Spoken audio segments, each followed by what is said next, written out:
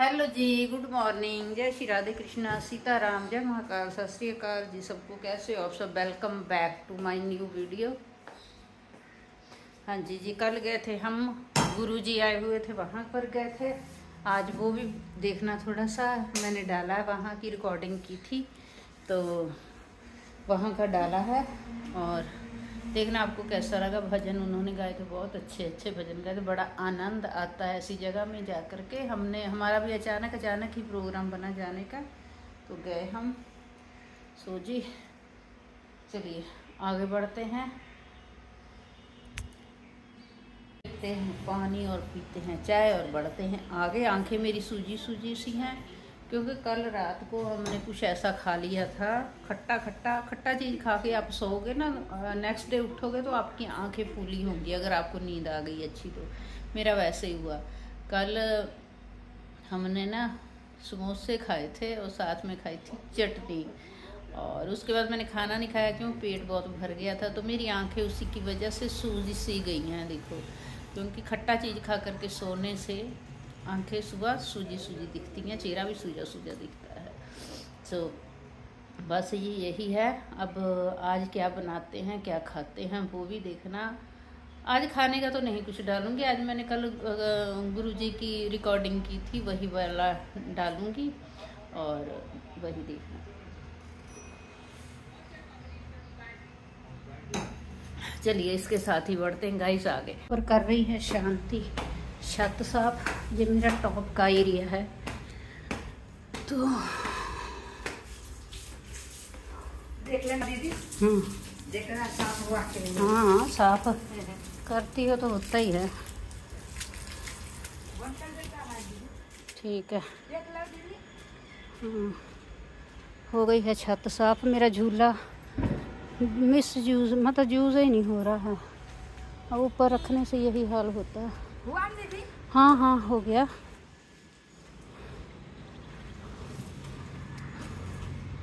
साफ़ सफ़ाई हो गई है। पानी हाँ, निकल जाएगा पानी। और इधर वाली छत भी धुल गई है। दो चार गमले हैं जो फेंकने हैं नीचे। देखो ऊपर से व्यू। उनकी टैंकी भर के पानी बाहर गिर रहा है। और शांति, ये वाली बाल्टी भी बाहर नीचे फेंकनी थी, है ना?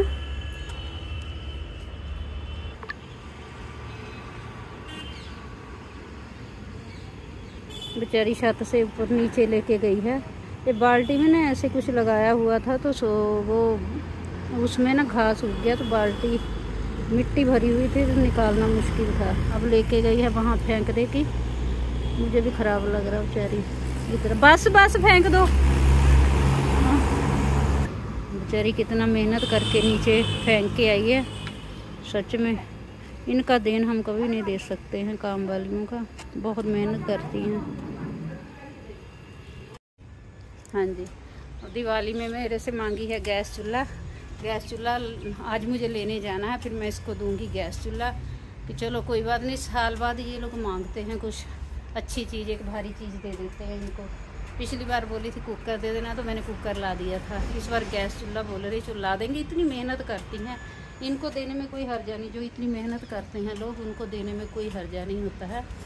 किसी को दे देंगे तो हम इतना खर्चा कर लेते हैं, इनको देने में क्या है?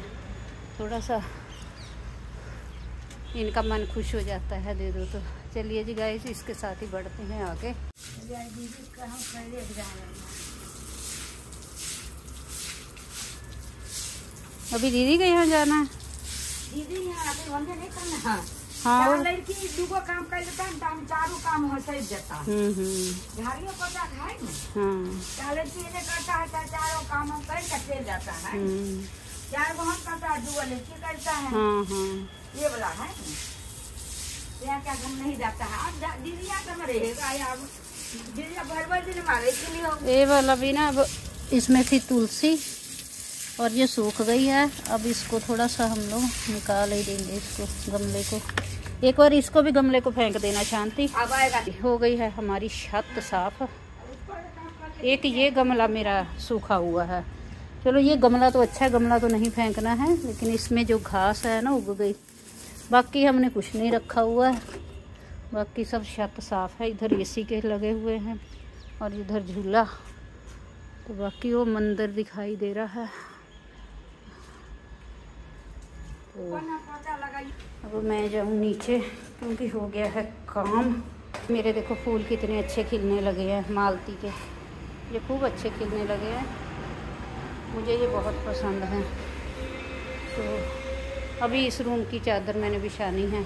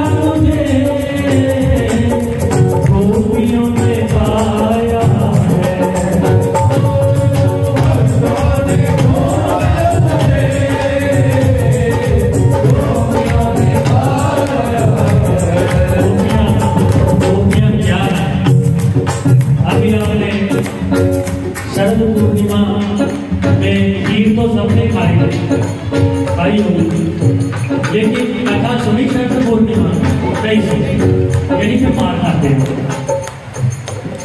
गोपियाँ क्या है?